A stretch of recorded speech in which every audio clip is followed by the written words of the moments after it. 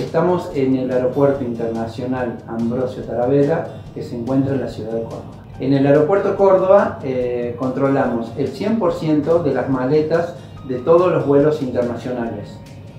Eh, también controlamos las mascotas que ingresan eh, como equipaje acompañado y también hacemos el certificado veterinario internacional CBI que es cuando el pasajero quiere llevar eh, su mascota a otro país. El objetivo de SENASA eh, en esta zona primaria es controlar el 100% de las maletas de los pasajeros para controlarle que no entren con ningún eh, alimento que esté prohibido, que traiga plagas o enfermedades al país. SENASA cuando encuentra una maleta sospechosa de algún alimento mediante el escáner, eh, que vemos la figura y el, color marrón que nos indica que es orgánico, eh, le pedimos por favor que nos abra la maleta para ver qué es lo que puede traer.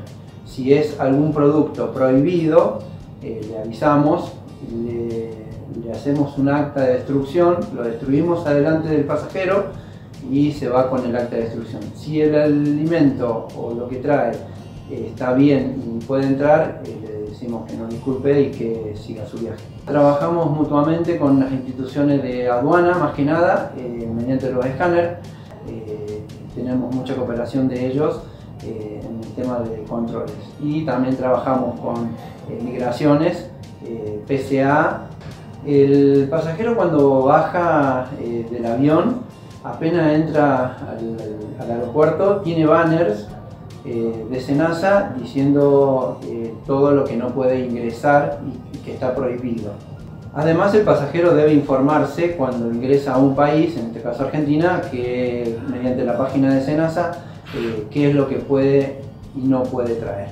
En línea general, el pasajero sabe que hay un control fitosanitario. Lo que más se está decomisando siempre es verduras, flores, semillas, frutas, en el aeropuerto Córdoba eh, tenemos eh, prácticamente las 24 horas vuelos internacionales, tenemos vuelos eh, directos de Perú, Chile y Europa.